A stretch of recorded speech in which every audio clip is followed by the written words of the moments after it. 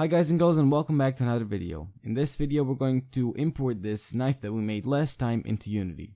Last time we also exported this model, but one thing I forgot to do was change the materials on it. So what we can do is go to the materials tab, create two new materials.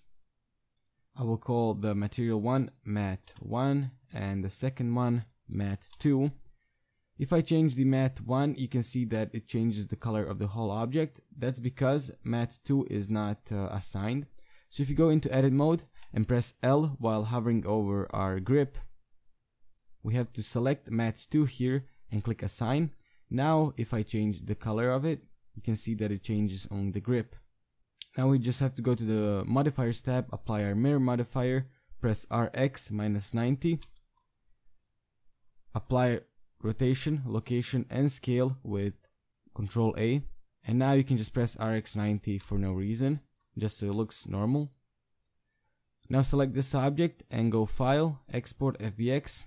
Make sure you select this thing for scale right here and click Export. Now we can move into Unity. In Unity we just have to really quickly import this. So go to our FBX folder and find your FBX file and now you can just drag it in and then drag it in the scene. You can see that it's definitely way too big, so we'll do the same thing we did um, with our animations and arms. I will select the FBX file, go to the Models tab, and change the scale factor to something like 0.15. Click Apply, and I think this should be a very nice size for our knife. That's pretty good. Now we just have to change the materials.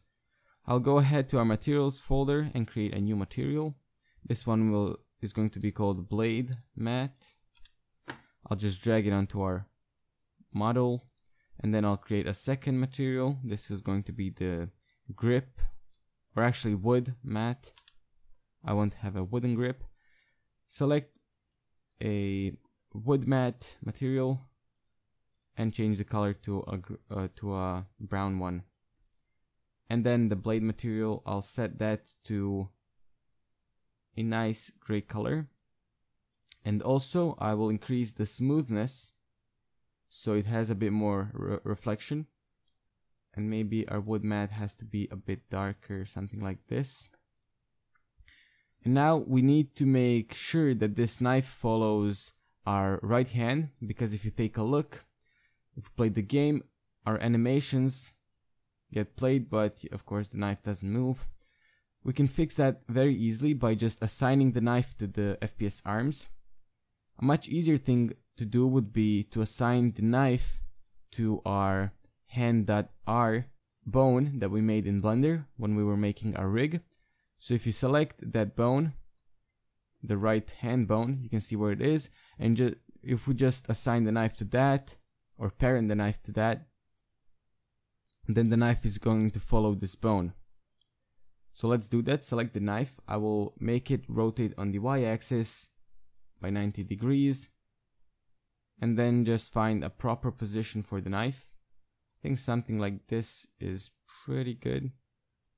I'm going to right click on our hand.r bone and create a empty object.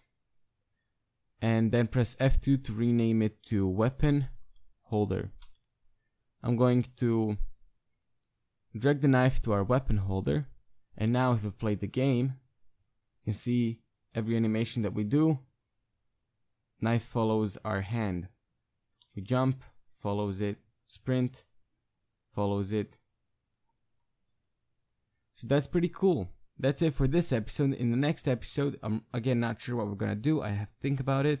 But if you enjoyed, be sure to leave a like, comment down below, subscribe, and as always, you can go follow me on my social media or on my Patreon. That'd be very much appreciated. So hopefully, I'll see you next time. Bye bye.